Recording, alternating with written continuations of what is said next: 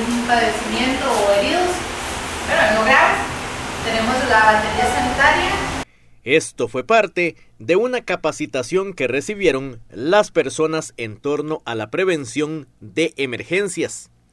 Desde su lanzamiento en marzo de este año, el Programa Nacional de Asesoría y Capacitación Comunidad Pellizcada capacitó, conformó y activó a más de 490 comunidades de todo el país para que puedan identificar los riesgos a los que se exponen mediante una metodología de asesoría, acompañamiento, capacitación y entrenamiento de sus habitantes.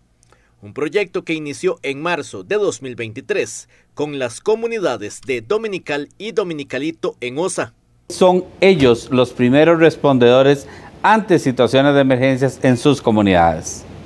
Para realizar la capacitación, la CNE se ha desplazado por cielo, mar y tierra con el fin de llevar el mensaje preventivo e informativo, tanto en zonas rurales, urbanas e incluso zonas indígenas.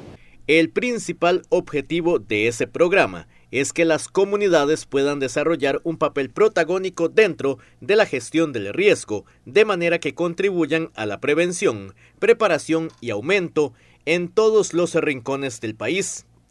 Además, la propuesta incorpora la creación de chats de comunicación entre vecinos que permita el diálogo para coordinar recursos y esfuerzos comunitarios en caso de una emergencia.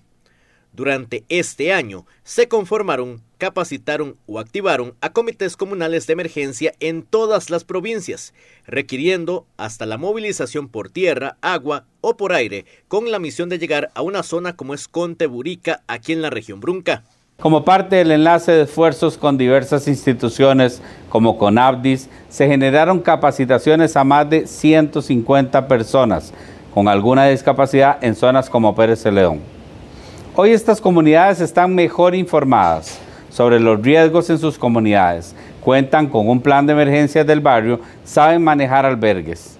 El programa es permanente, por lo que el objetivo es fortalecerlo durante el próximo año y llegar a más comunidades vulnerables. En el último mes se realizaron capacitaciones en comités comunales de emergencia en diversas partes del territorio nacional, como por ejemplo Alto La Esperanza, aquí en Pérez Celedón.